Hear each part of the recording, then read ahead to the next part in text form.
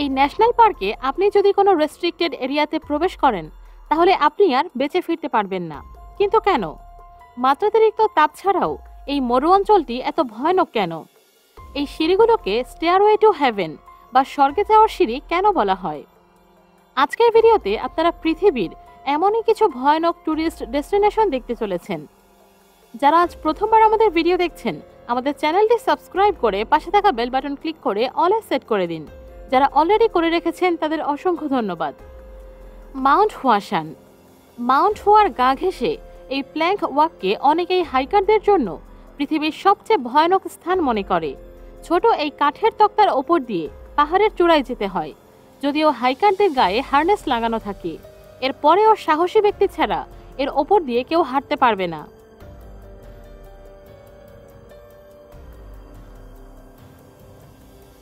Death valley. এই মরু অঞ্চলে পৃথিবীর সর্বোচ্চ তাপমাত্রা রেকর্ড করা হয়েছিল, যা হচ্ছে একশো চৌত্রিশ ডিগ্রি ফারেনহাইট বা সাতান্ন ডিগ্রি। এই স্থানটি ক্যালিফোর্নিয়ার দক্ষিণাঞ্চলে অবস্থিত। এই স্থানে আপনি পানি ছাড়া মাত্র চোদ্দ ঘণ্টা বেঁচে থাকতে পারবেন। Hiking Trolltunga. এই স্থানটি নরওয়ের সবচেয়ে চমৎকার হাইকিং ডেস্টিনেশন, তবে চমৎকার হবার পাশাপাশি এই স্থানটি পৃথিবীর সবচেয়ে ভয়ানক হাইকিং স্পটও। এখানে হাইকিং করতে গড়ে সাত থেকে দশ ঘণ্টা সময় লাগে।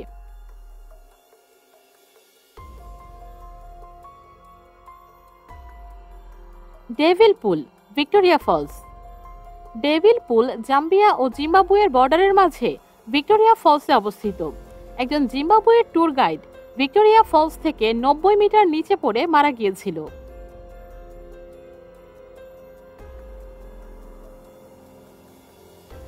Stairway to Heaven Hawaii hike ওয়াহুর windward কোস্টে অবস্থিত।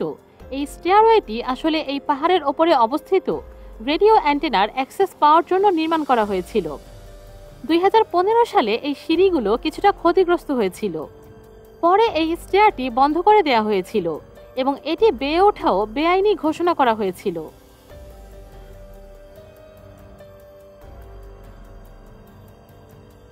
ডেথ রোড বলিভিয়ার এই ট্যুরিস্ট ডেস্টিনেশনটি ডেথ রোড নামে পরিচিত। এই তেতাল্লিশ মাইল দীর্ঘ রাস্তা দিয়ে আপনি ওপরে উঠুন বা নিচে যান। প্রতিটি পদেই আপনার জন্য বিপদ অপেক্ষা করছে। কারণ এখানে যেমন খাদ রয়েছে, তেমনি প্রতিটি টার্নে দুই হাজার ফিট নিচে পড়ে যাওয়ার ঝুঁকি রয়েছে। সর্বোচ্চ দশ ফিট এই রাস্তা দিয়ে গাড়ি চালাতে গিয়ে উনিশশো চুরানব্বই সাল থেকে প্রায় তিনশো জন ড্রাইভার মারা গিয়েছে।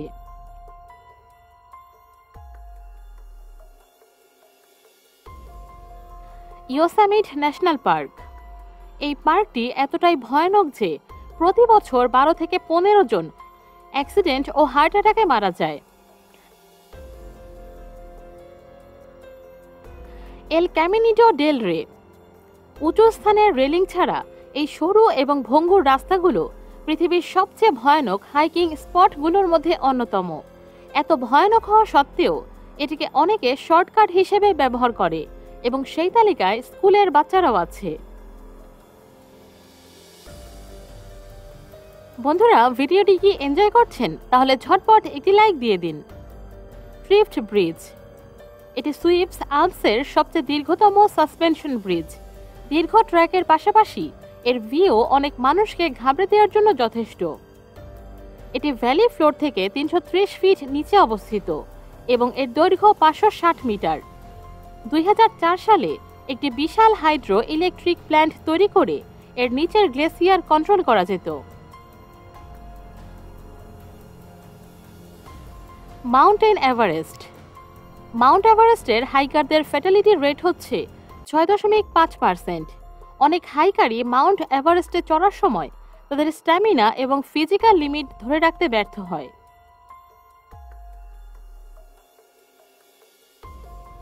Kokoda and black cat trails এটি আটান্ন কিলোমিটার দীর্ঘ পাপুয়া নিউগিনি অ্যাডভেঞ্চার। এটি সালামোয়া, ওয়া এবং মরো প্রদেশের মাঝে অবস্থিত। এটি বিশ্বের সবচেয়ে কঠিন এবং সবচেয়ে বিপজ্জনক ভূখণ্ডের মধ্য দিয়ে যায়। এখানে ভয়ানক রিভার ক্রসিং, জলাভূমি, ভেঙে পড়া গাছ, সবকিছুই আছে।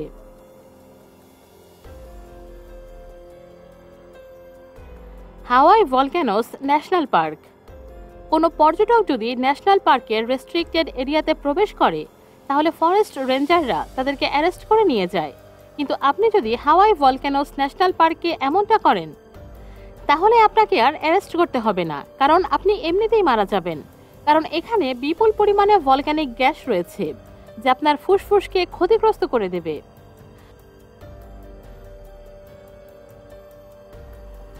বন্ধুরা, ভিডিওটি আপনারা কোন শহর থেকে দেখছেন? অবশ্যই কমেন্টে জানিয়ে দিন। মন্ট ব্ল্যাঙ্ক মাউন্টেন এখানে আইস ফলস বা বরফের ধসের পাশাপাশি মেডিকেল কমপ্লিকেশনের ঝুঁকিও আছে। এর পাশাপাশি এখানে এমন কিছু এলিমেন্ট রয়েছে যা হাইকারদের জন্য প্রাণঘাতী হতে পারে। এ কারণে চল্লিশ বছর বয়সী একজন লোককে উদ্ধারের অনেক চেষ্টা করার পরেও সে মন্ট ব্ল্যাঙ্ক মাউন্টেন আহরণ করতে গিয়ে মারা গিয়েছিল।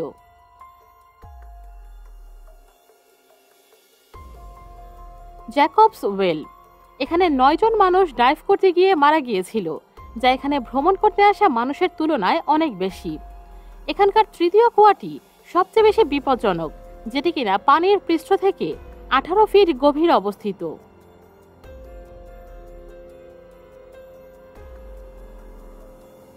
Heaven's gate. এই ট্যুরিস্ট ডেস্টিনেশনটি চীনের ঝ্যাংজিয়াজি শহর থেকে চব্বিশ হাজার পাঁচশো ফিট ওপরে অবস্থিত। এটিতে ওঠার জন্য পর্যটকরা কেবল কারও ব্যবহার করতে পারে। আবার সিঁড়ির নয়শো নিরানব্বইটি স্টেপ বেয়েও উপরে উঠতে পারে। দ্য ড্যানকিল ডেজার্ট পৃথিবীর সবচেয়ে মারাত্মক মরুভূমিতে সবচেয়ে বড় বিপদের কারণ হচ্ছে সেখানে নিঃশ্বাস নেওয়ার মতো কোনো অক্সিজেন নেই। এখানকার বাতাস অনেক ধোঁয়াময় এবং এখানে বিষাক্ত গ্যাস ভরে আছে।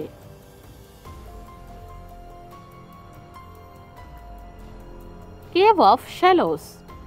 উনিশশো চুরানব্বই ফিট প্রশস্ত এবং বারোশো ফিটেরও বেশি গভীর এই গুহাটি বিশ্বের বৃহত্তম পরিচিত গুহা খাদ দুই হাজার তিন সালে ডিন পটার অনেক চিকন একটি দড়ির সাহায্যে বারোশো ফুট গভীর এই গুহায় ঝাঁপ দিয়েছিলেন।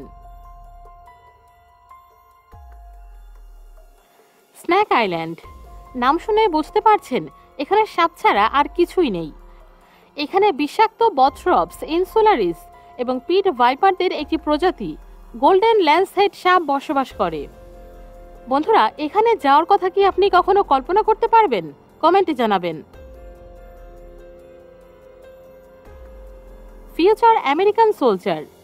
এখানে হাইক করা তুলনামূলক সহজ এবং এখানে হাইক করতে গেলে চমৎকার কিছু ভিউ পাওয়া যায়।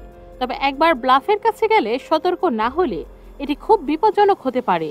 গত পাঁচ বছরে ব্লাফ থেকে পড়ে যাওয়ার ফলে দুইজন মারা গেছে। অভিভাবকদের, তাদের বাচ্চাদের এই ভ্রমণে না নেয়াই ভালো। বন্ধুরা, আজকের জায়গাগুলোর মধ্যে কোনটি সবচেয়ে বেশি রোমাঞ্চকর মনে হয়েছে? আজ এই পর্যন্তই। আমাদের ভিডিওগুলো তথ্যপূর্ণ মনে হলে একটি লাইক, কমেন্ট এবং শেয়ার করতে কিন্তু একদমই ভুলবেন না।